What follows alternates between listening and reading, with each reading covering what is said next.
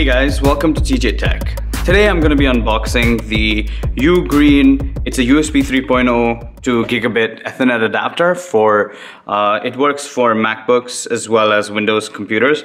And I know that it actually works with a Mac because that's what it said on the website. There will be links to everything in the description below. So let's get right into it. Obviously, uh, this is not relevant to some of the newer MacBooks because those are all USB Type-C.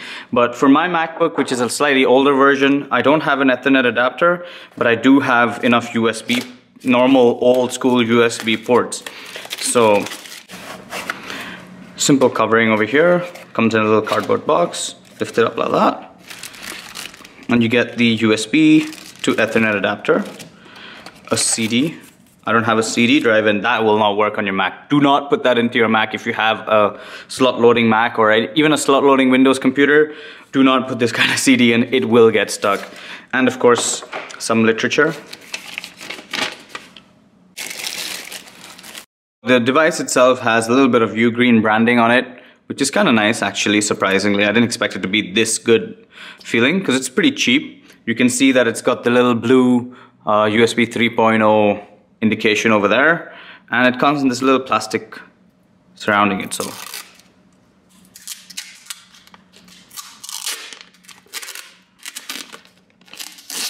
It says Ugreen over there and it's got what looks like Chinese characters to me. Pretty straightforward, looks very nice actually. It's got this glossy feel which is a little bit of a fingerprint magnet but not too bad, I gotta say. Looks really good build quality overall. I'm, I'm quite impressed with this. So now what I'm gonna do is I'm gonna plug this into my Mac and let's let's see what it looks like. Alright, so what we need to do first is to download the Ugreen drivers. Um, this is one of the unfortunate steps that I think doesn't really make all that sense because Uh, in order to get the internet to work, you need the internet to begin with, which doesn't make much sense. So, in case you know that you are traveling, it's best for you to test this at home where you have Wi-Fi available and you have Ethernet connection so you can download the drivers, install it, connect the Ethernet and check that everything is working beforehand. So, don't set this, don't take this and travel without setting it up first. Now, in order to download the files, uh, you can check the links in the description below rather than going through all the searching that I'm doing here. Um, I have all the links for Windows and for Mac OS. Uh, for Windows, unfortunately, they only have Windows 7 drivers as far as I could find out.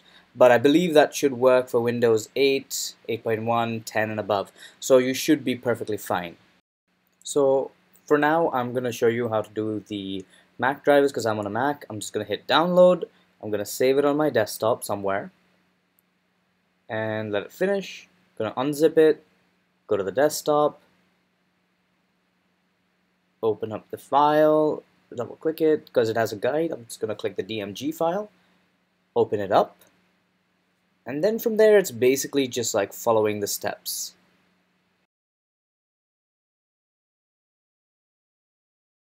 And now we're just gonna let it finish installing. This could take a bit of time. I'm gonna speed this thing up. Alright so we're ready and I'm gonna restart this computer now. Okay so my computer is restarted. I have turned off the Wi-Fi and I've plugged the device in. I just need to plug in the Ethernet and immediately you see that the lights have turned on. And that basically means that I have internet connection data is going through so let's test this out on the computer and there you go, it works perfectly fine. I mean, there's really not much more to check it out here, but yep, works perfectly fine. Can't complain. Let's give one of the videos a shot. Works the as Samsung you would want it to. Yes. There's absolutely no problems with the video. There's no problem with the speed. The speed's really good. So There you have it. That was the unboxing and review of the Ugreen USB 3.0 to gigabit Ethernet network adapter. Um, I definitely like this. It's simple, straightforward. The only issue that I have with this is that you need to have an internet connection to get this to work in the first place.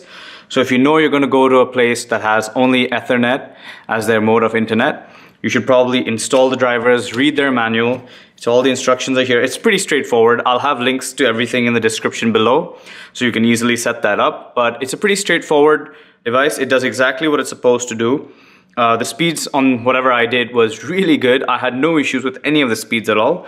I think it's a great device. I can highly recommend this.